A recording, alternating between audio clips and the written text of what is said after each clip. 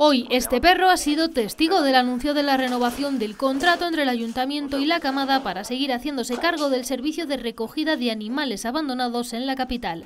Renovación de contrato que llega tras una larga espera producida por un retraso al presentarse un recurso por parte de otra empresa que concursó para hacerse cargo de este servicio. Eso se ha traducido en meses de trabajo sin contrato y sin cobrar. Cuestiones que ahora, según ha explicado el concejal, se solucionarán. Se le debe un dinero a la Asociación de la Camada desde septiembre, el 8 de septiembre, hasta el día anterior al inicio de este nuevo contrato. Reconocidas las deudas y con el compromiso de poner al día las cuentas con la camada, lo importante ahora es la situación de estas instalaciones.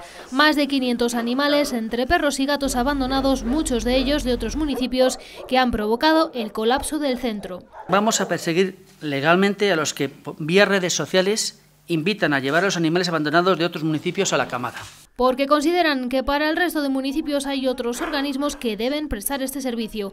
Igualmente se perseguirá a los particulares que empadronados en Guadalajara lleven animales de otros municipios y se hablará con las entidades encargadas de prestar estos servicios como la Mancomunidad Vega de Lenares para que amplíen sus horarios pudiendo dar cobertura a más horas y evitando que los animales abandonados fuera del término municipal lleguen a la camada. Otra de las novedades son las colonias felinas. Se trabajará para esterilizar y se intensificará el control del microchip en gatos de particulares.